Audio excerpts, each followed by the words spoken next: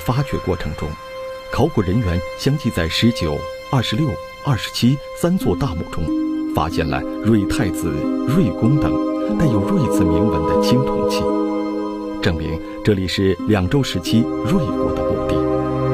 根据桓公、瑞公等铭文，以及二十七号大墓中的七鼎六簋和成套的礼乐器、金器等出土器物，专家们判断。二十七号大墓就是一代瑞公瑞桓公之墓，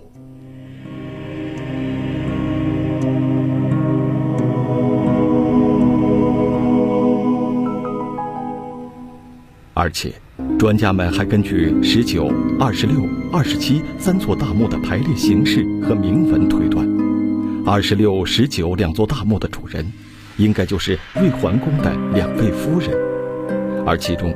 二十六号大墓主人显然比十九号墓主人身份要高一个等级，在他的墓中不仅出土了象征诸侯夫人身份的五鼎四簋和七黄连珠，还出土了大量精美奢华的玉器。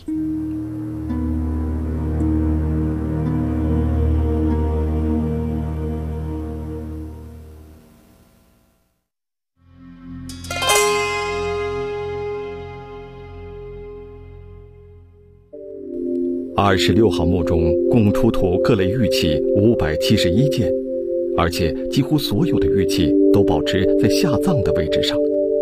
这象征身份等级的七黄连珠项饰，由一件圆形玉佩、七件玉环和七百二十七颗玛瑙珠串联而成，从墓主人的项部一直延续到膝盖处，左右手腕部还佩戴着玉手镯及万世祖佩。手中有玉握组佩，虽然看不清墓主人的躯体，但可以确定，下葬时墓主人的尸身上几乎铺满了玉器。从这些随葬的玉器上，我们可以想象出，墓主人生前有着怎样奢靡的生活。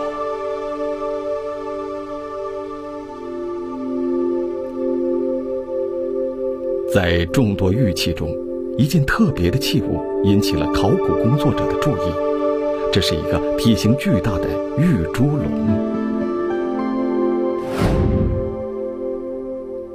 所以二十六号墓这个玉猪龙是咱们现单个玉器里面，应该是这个梁代村里个比较最重大的一个最重大一个发现。玉猪龙属红山文化时期的典型器物，如今出现在韩城的两周墓地中，让考古人员感到匪夷所思。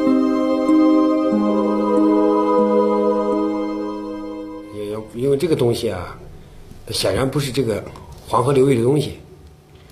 另外，这个东西年代是距今已经五千年了，当时实际上都不敢相信，这五千年东西怎么能出在两千多年墓里面了？那么当时这怎么一个流传过程？所以经过对这这件玉器的这个形态啊，它的工艺制作呀，包括这个孔，这这呃孔是怎么打的啊？对了对这个中国这个玉器全集啊，有有有有关的资料。另外还请教一些专家。大家现在就一致公认这件东西啊，就是标准的这个红山文化的这个这个玉猪龙。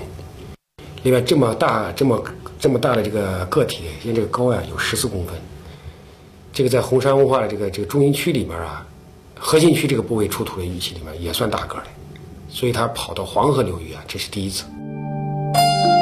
那么，辽河流域的产物怎么会跑到相距几千公里外的黄河流域？两周时期的墓主人又是通过什么途径得到它的呢？我想这个这个因素呢，它这个就就非常复杂了。呃，它肯定不是就说红山文化当时的玉器就能够流传到这里啊，因为红山文化的这个范围呢，就主要在辽河流域啊，在内蒙古的西部和辽宁的内蒙古的东部和辽宁的西部，这个陕西这个韩城呢。距离这个地方呢还是比较遥远的，呃，当然这个东西能在这儿出现，说明啊，这古代的玉器，它一个流传过程啊是相当的复杂。一时之间，关于玉猪龙的出现，专家们也难以找到原委。孙炳军回过头，从其他的奢华玉器中寻找突破口。二十六号墓中为什么陪葬了如此之多的玉器？这些玉器数量之大。种类之多，等级之高，是近年来中国商周考古中十分罕见的。像这个跨度这么大、涵盖的时代这么长的，是很少。当考古队员们把一件件玉器清理干净、恢复原状后，呈现在他们眼前的景象，简直令他们既兴奋又惊叹。这一组组精美的玉串饰，无一不显示着墓主人生前奢华的生活状态。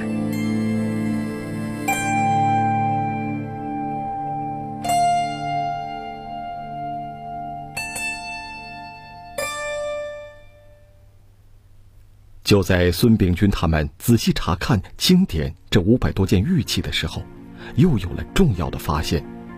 这些玉器中，除了最早红山文化时期的玉猪龙，还有着大量商周时期的玉器。这或许与二十六号墓主人生前的喜好有关，否则无法解释为什么他的墓中会出现如此之多跨时代的玉器。为了找到答案。孙炳军仔细查看着每一件玉器，似乎在这些玉器中隐藏着什么秘密。几天后，他在一件玉卵上似乎发现了什么。当他拿起放大镜再仔细观察时，竟然看到了文字。虽然字迹有些模糊，但依然能看出“小陈熙”等。第四个字辨认不清。玉卵上出现的文字“小陈熙”。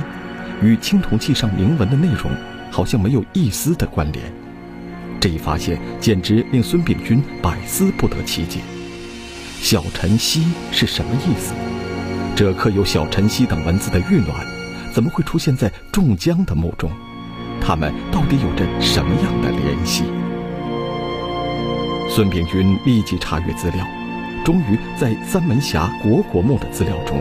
找到了一件同样刻有“小陈”字样的玉戈，原来小陈是一个人的姓氏，他是一位商代的高官。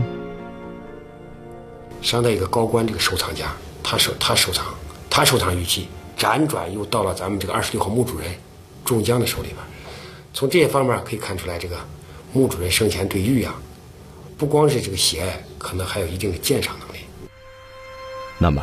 能不能根据二十六号墓中出土的玉器来断定，墓主人生前就是一位玉器收藏家呢？当考古人员在图上标明每一件玉器的位置时，发现，在墓主人右侧身旁，还散落着大量碎玉和工艺不完整的玉器。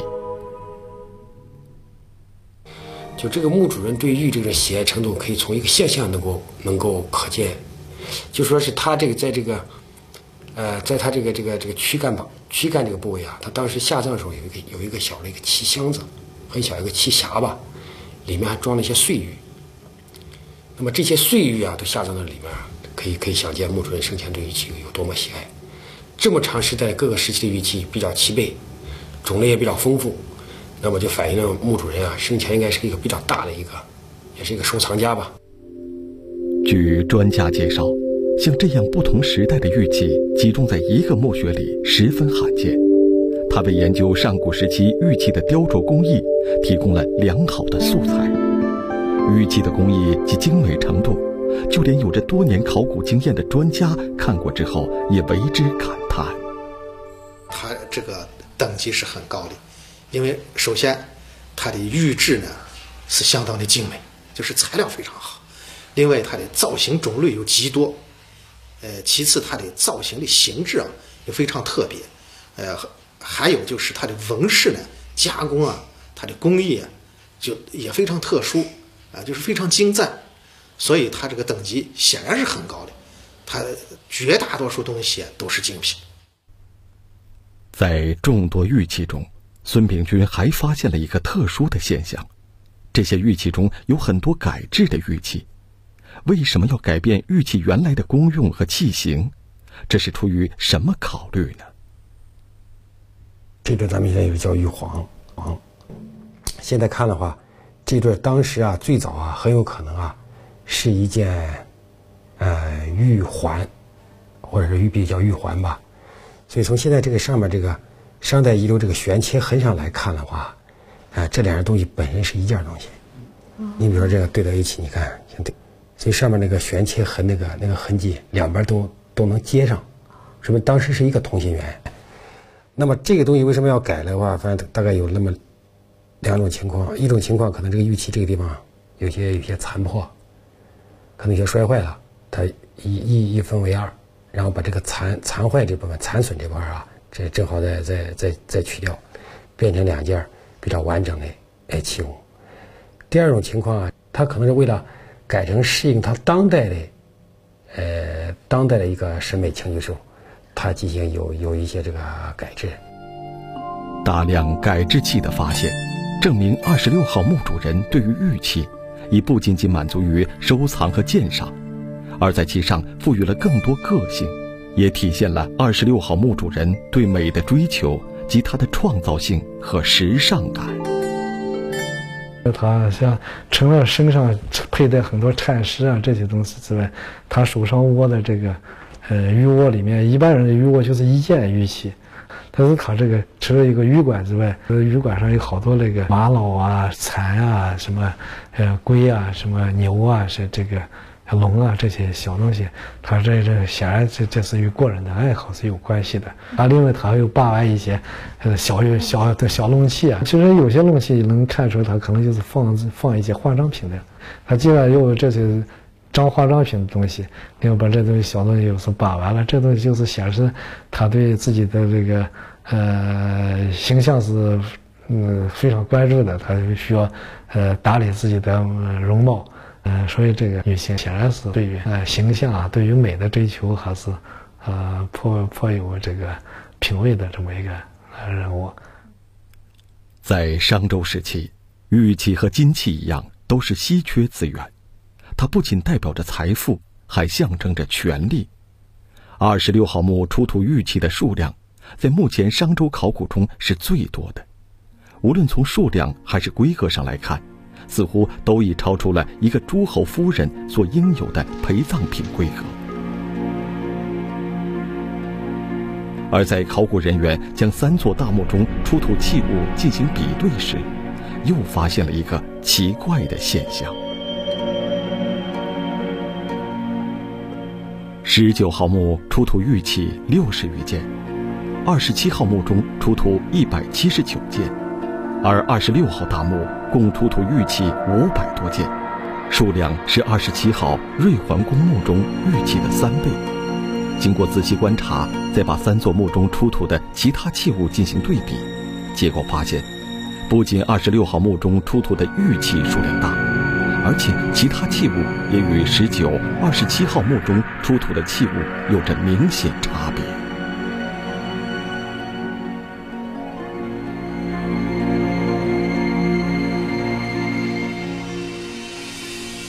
这样的结果让考古人员也感到吃惊：一个诸侯夫人陪葬物品的规格，怎么可能比国君还要高？难道她不仅仅是诸侯夫人和喜爱玉器这么简单？这个女人究竟还有什么样的特殊身份？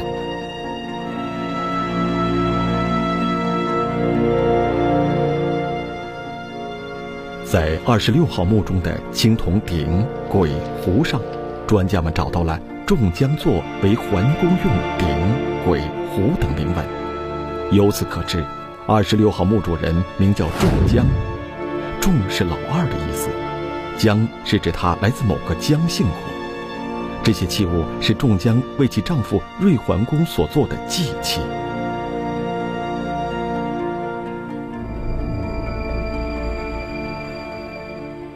这个非常重要，就是说这个女性她有祭祀权。祭祀权是国家的一半权利，这个东西祭祀过去是国之大事，在死于戎，就是在于祭祀或打仗，就这两件是国家的大事。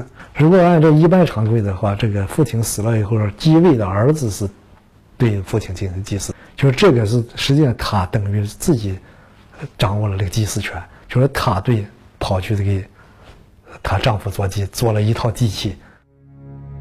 在商周时期。祭祀权与王权紧密相连，是只有男人才能掌握的权利。作为一个女性，仲江却能拥有这样的无上权利，再一次证明了她特殊的身份地位。他究竟是什么人？专家们将研究的重点放在了铭文中的“姜”字上。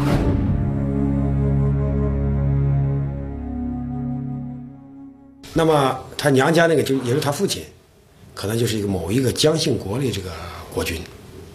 那么就说他娘家的姜姓国这个这个国君啊，甚至比他这个，比他这个丈夫，比他这个婆家这个这个国家可能还要强盛。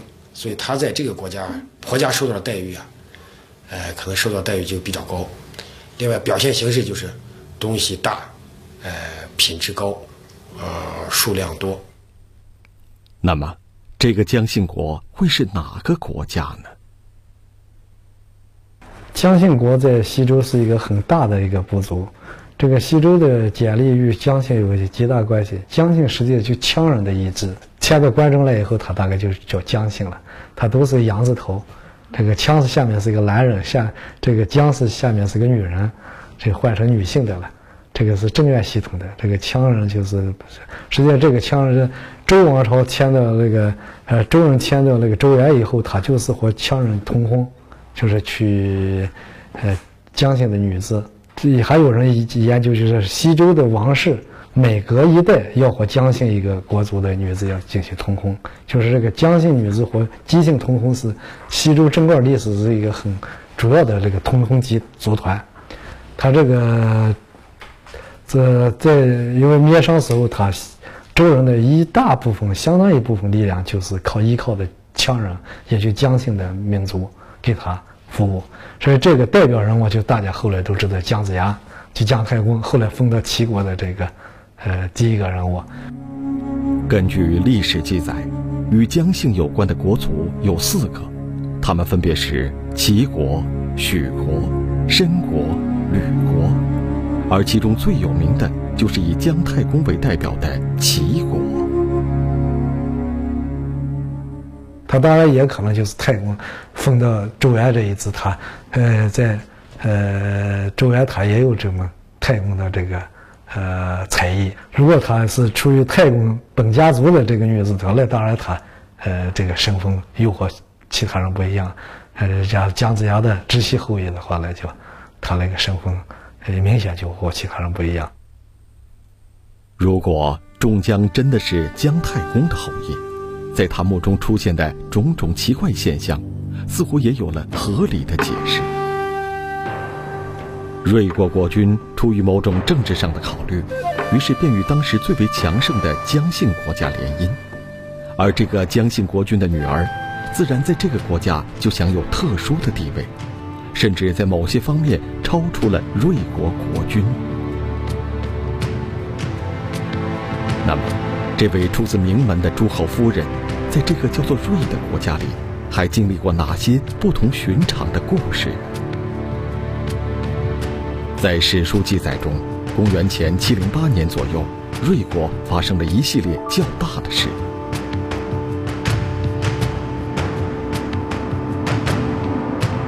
最初是瑞伯被其母所逐，《左传·桓公》记载：“瑞伯万之母瑞姜，吾瑞伯之多宠人也，故逐之，出居于魏。”驱逐他的原因一个理由，就是说是，嗯，这个瑞博啊，呃，累成呃成人太多，就是呃成姓的人太多，大概就是，呃，在可能母亲认为他这些。喜好的、喜爱的这人里边，大概都不是品行不是多么端正的，所以他认为这样可能是呃影响会影响他的执政，啊，对国家治理会造成呃负面的效果，所以他就为了呃避免这些其他不好的事件发生，他就是 从从根子拔起，就他把他儿子的干脆就。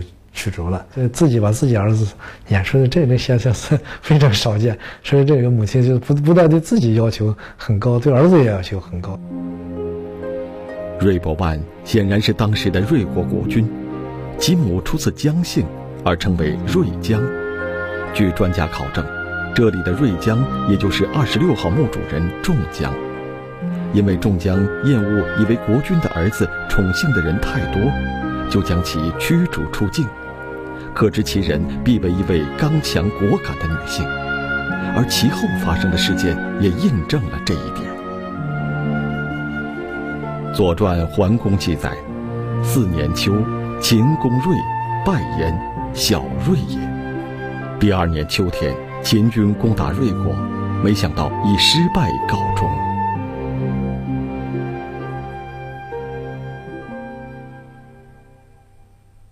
这个秦国一路打的把关中的大半都统治了，结果跑到这个韩城来和两芮国打了一仗，打败了。打败当然主主观原因是秦国小看了。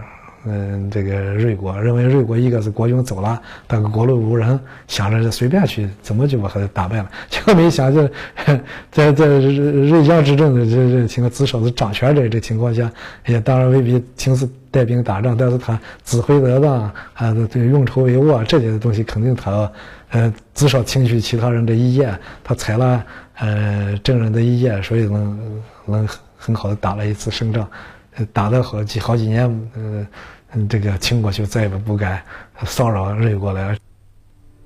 当年冬天，打了败仗的秦国联合周氏讨伐魏国，掳去芮伯万。这样的举动也许是出于报复的心理，将芮伯万作为人质，让其母仲姜为自己儿子的命运担忧。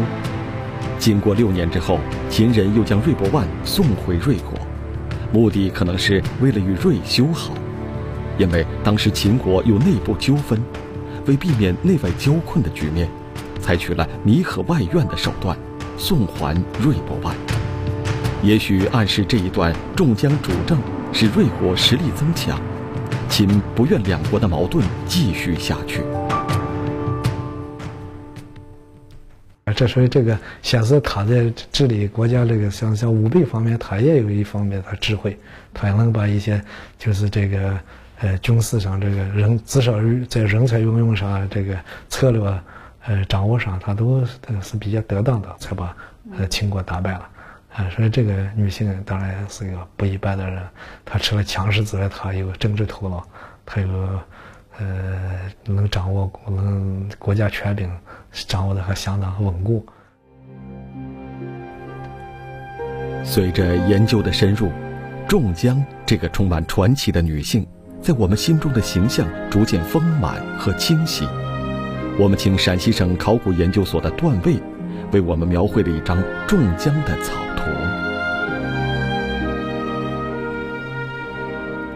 这位叫做仲姜的诸侯夫人，生前有着极为尊贵的身份和奢侈的生活。